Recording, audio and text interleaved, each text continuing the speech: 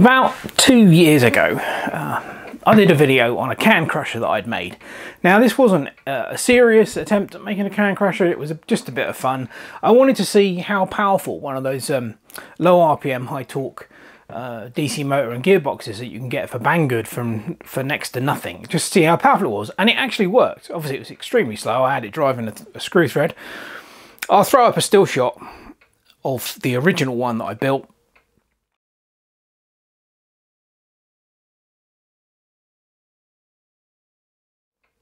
If you haven't seen the video, then you obviously won't know what I'm talking about. So, this is the Mark II version. This is a little bit more serious. Now, I was inspired to take another look at my Can Crusher, and I I'd been thinking about it anyway, but then I saw uh, Craig's latest video, Craig's Workshop's latest video, where he was uh, having a look round, doing a tour of his friend Bill Baggins' workshop. And one of the things that Bill had built was shown right at the very end of the video, and that was this pneumatic. I'm fairly certain it was an air ram he was using. Uh, can crusher, which is that absolutely bloody brilliant bit of kit, and all, all kudos to Bill for building it. it. It's absolutely fantastic. So I thought, right, I'm going to have a, another go at mine.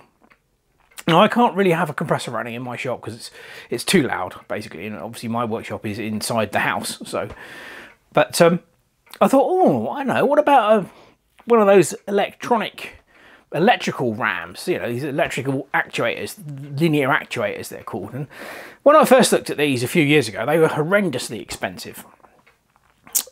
But they've actually come down in price. So I bought one and this is the actual item here. Let's have a quick closer look at this. Now, this is a 12 volt, 200 millimeter stroke, 1500 Newton electronic actuator. It's got built-in limit stops, which is great, so you can't overextend the RAM or over-retract it. And as I said, it runs off 12 volts. So I've basically utilised, as you can probably see, I've utilised some of the parts from my original can crusher. All of this is from the original one, including the, the wooden block there. I've just put it on a slightly longer base to accommodate the RAM, because the RAM is obviously somewhat longer. Right, let's see it crush some cans then.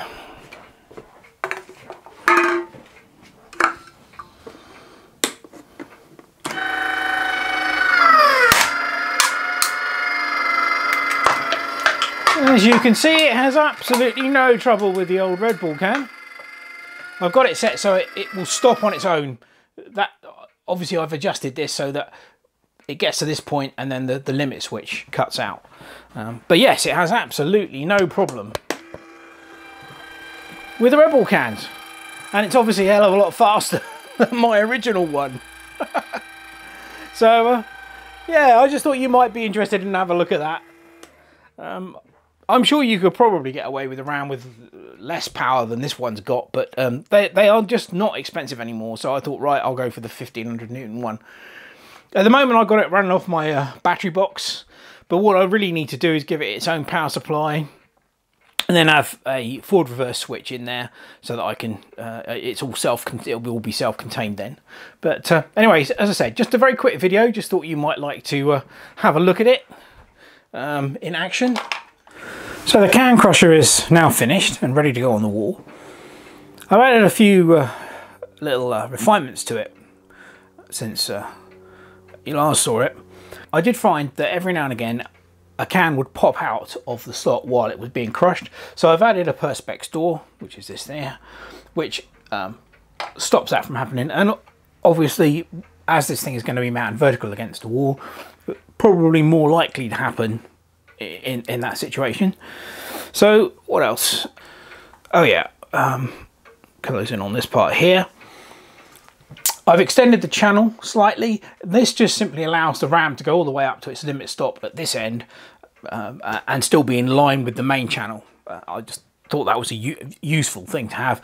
I've added a metal plate to the end of the uh, wooden RAM. Again, this is just to protect the wood because the wood will get dinged up over time. Uh, what else? Around here. There we go.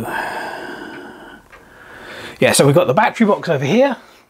11.1 volt LiPo battery powering it. more than adequate for this. And I found this lovely old uh, toggle switch on eBay, which is a double pole, double throw center off, which I've wired up as a simple crossover so it reverses the polarity on, on the RAM. Uh, and that works absolutely fine. We'll see it in action in a minute.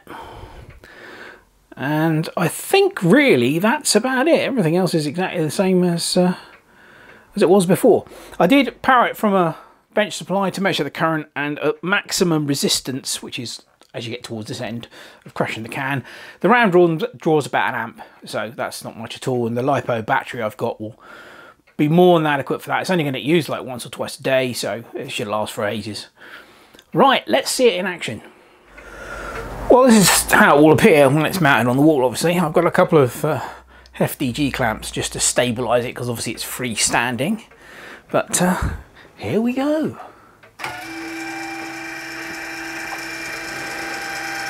I must I do like that switch.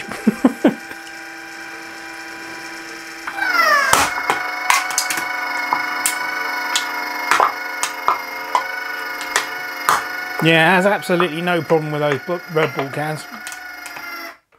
That's so satisfying.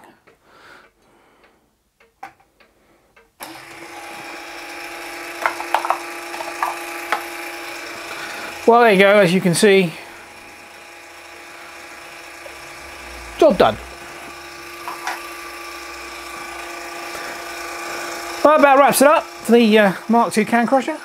All I've got any now is mounted on the wall and we'll, uh, we'll be good to go. I hope you enjoyed this video on this thing. I've certainly enjoyed building it and I love crushing cans with it. It's great fun. So, uh, as always, thanks very much for watching. Cheers.